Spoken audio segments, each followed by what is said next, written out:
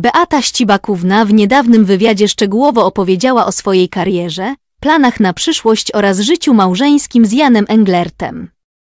Aktorka zaskoczyła publiczność, dzieląc się trudnościami, z jakimi musiała się mierzyć na początku swojego związku z znacznie starszym mężem. Początkowo do ich domu i teatru zaczęły docierać anonimowe listy, co dodatkowo komplikowało sytuację. Beata i Jan są razem już ponad 30 lat, a ich związek na początku wzbudził wiele kontrowersji. Ścibakówna była wówczas młodą studentką, podczas gdy Englert cieszył się renomą doświadczonego aktora i wykładowcy. Plotki sugerowały, że związała się z nim dla kariery, gdyż wpływowy mąż miał jej pomagać w zdobywaniu ról i wprowadzać do elitarnych kręgów. Jednak jak zapewniła, to były tylko plotki. Tak, wielu osobom, wiele lat temu wydawało się, że związek z Janem Englertem jest dla kariery.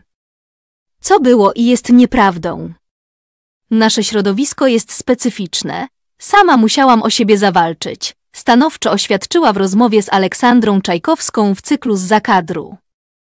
W dalszej części wywiadu Beata Ścibakówna gorzko wyznała, że miłość do Jana Englerta przyszła jej z wysoką ceną. Aktorka podzieliła się dotąd nieujawnioną tajemnicą, mówiąc o ogromnej krytyce i poważnych konsekwencjach związanych z ich relacją.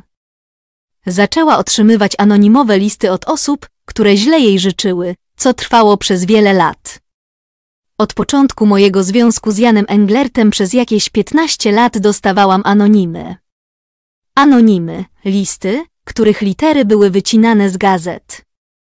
Teraz żałuję, że je wyrzuciłam, bo miałabym dowód i wątpliwą pamiątkę wyznała Beata. Listy te głównie zawierały wyrzuty i złorzeczenia.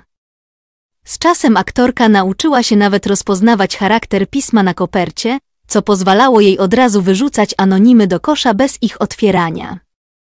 Otrzymywałam je nawet, jak już byliśmy małżeństwem, a na świecie była nasza córka Helena, żaliła się Beata.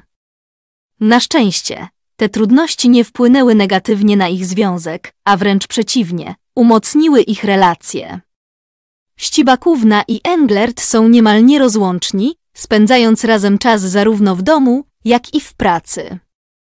Chociaż wielu dziwi się, jak mogą nadal ze sobą wytrzymać, Beata przyznaje, że czasem potrzebuje oddechu od wspólnego życia.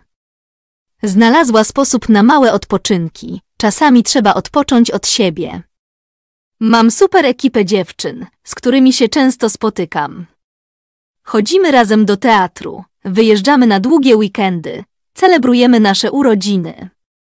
To jest czas dla mnie, żeby odpocząć troszeczkę i zatęsknić wyjawiła na koniec wywiadu.